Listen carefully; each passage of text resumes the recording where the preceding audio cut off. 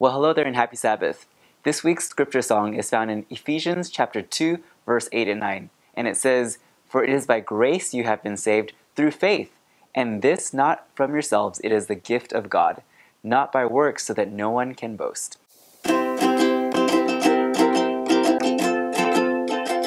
For it is by grace you have been saved through faith, through faith. And this not from yourselves, it is the gift of God, not by works, so that no one can boast. Ephesians chapter 2, verse 8 and 9. Sing along with me. For it is by grace you have been saved through faith, through faith. And this not from yourselves, it is the gift of God, not by works, so that no one can boast. Ephesians chapter 2, verse 8 and 9.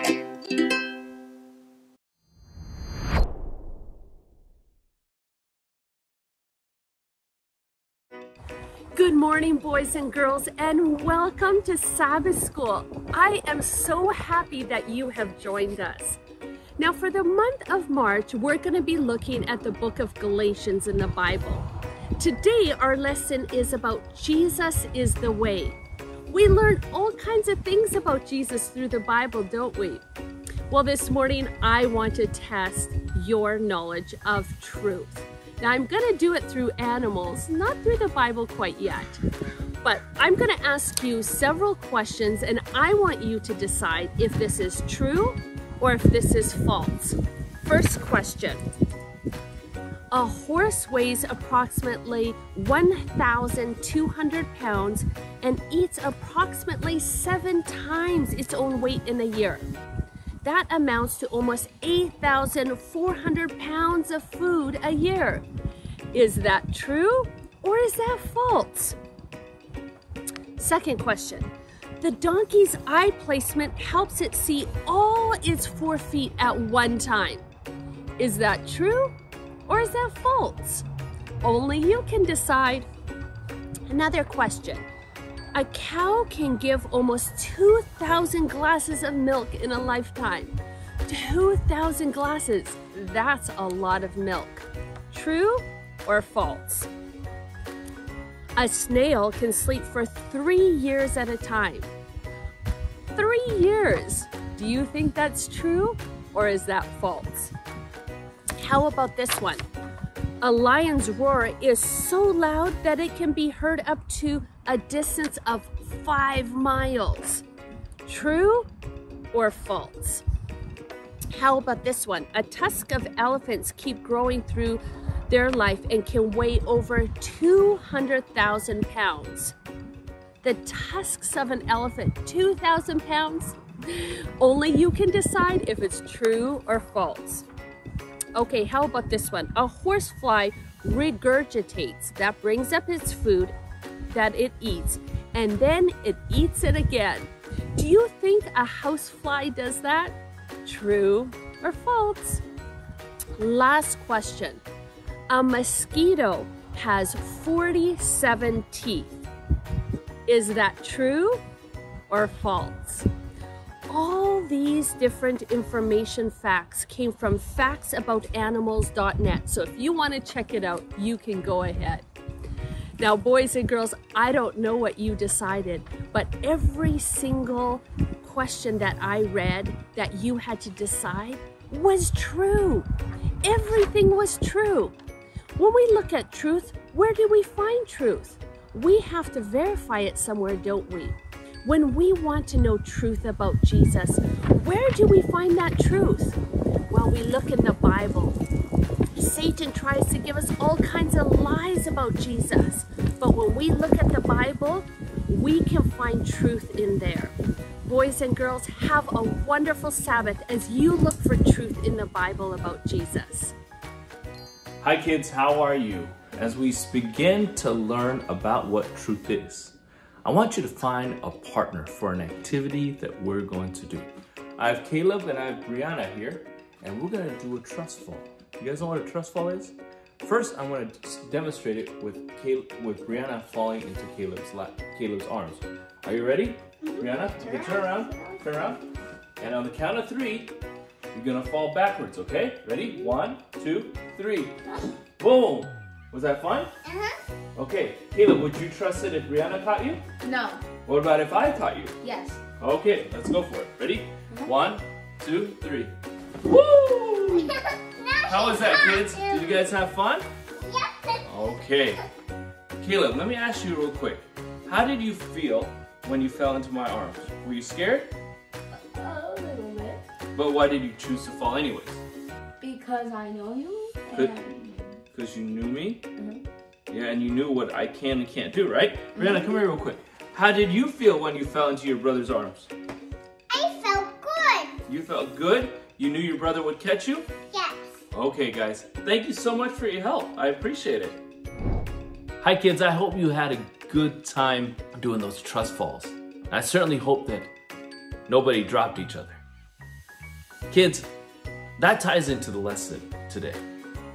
This entire month, we're going to be looking at what Paul wrote to the church in Galatia, the book of Galatians. As we look at that book, the big theme that Paul wants us to remember is this that we're saved through Jesus Christ.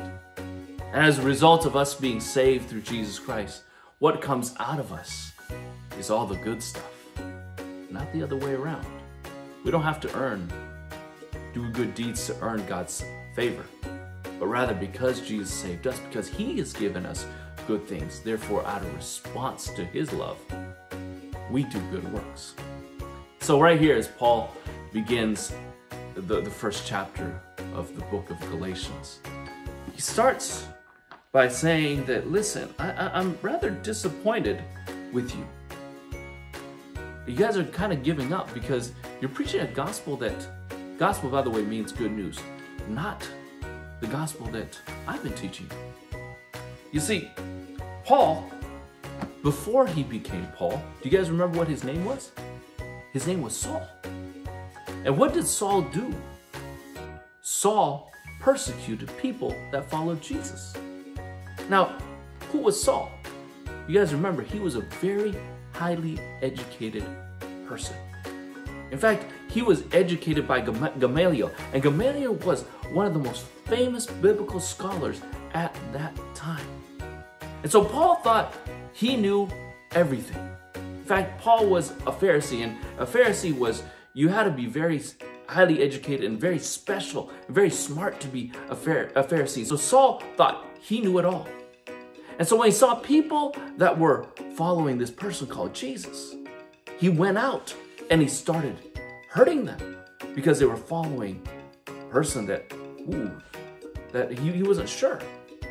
But on the road to Damascus, on the way for him to hurt people, God came to him in a big bright light. And he, encountered Paul and, and, and Saul, and he said, Saul, Saul, who are you persecuting? And, and he said, uh, Who are you? He goes, I'm the one you're persecuting. And from then on, after Saul encountered Jesus, he began to understand what this good news that Jesus had taught. The fact that Jesus uh, came to this earth, he died on he died on the cross and he rose again to save us. It, it, it began to get into Paul's head, and he he realized that all the stuff that he was teaching, he had seen it from the wrong perspective. And you see, kids, when we follow Jesus, when we learn, when we read the Bible, the Bible, we believe that it's true. The Bible says God's word is truth, right? The truth should make us do good things. But if we say we know the truth, but we're not doing good things like Jesus would want us to, then we then we've got to relook at it again. Because you see, the devil is out to trick us. He, you remember Pastor Shauna played a, a little game with you, right? She told two things that were real and one, one and maybe something that wasn't real. And the only way to know what's real, what's truth, is to know the real thing. And God's word, the Bible, is it is the way we get to know Jesus and through that and, and, and through prayer. Because when we know the real thing, when we know who Jesus is, we'll know when it's false, stuff's false. For instance, you know when Caleb and, and Brianna, as they learn to they learn to trust each other and ultimately and to trust me. The only way they've gotten to, to know that if they fall back, I'll catch them is because over the, the Caleb is eight years old and Brianna's three years old, they've gotten to know me. And they know what I can and cannot do. It's the same thing with us and God.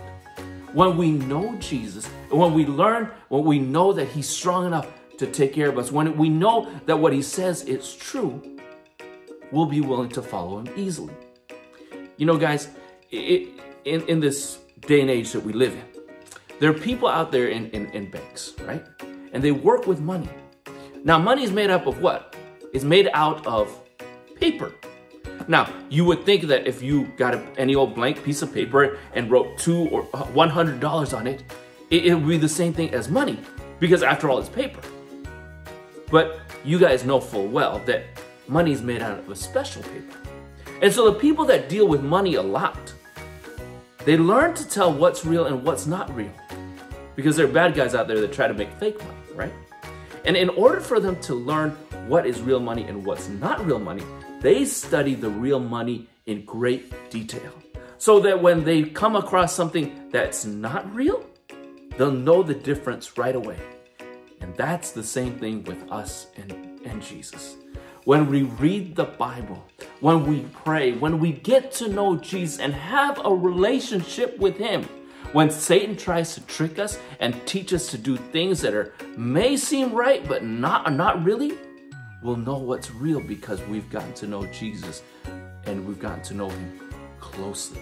So kids, as we begin our study on the book of Galatians, I would hope that you fall in love with Jesus deeper so that we know Jesus so well that, so that when Satan tries to come and trick us and lead us in, in a different way, we'll know what truth is and what fake stuff, what, what fake stuff is.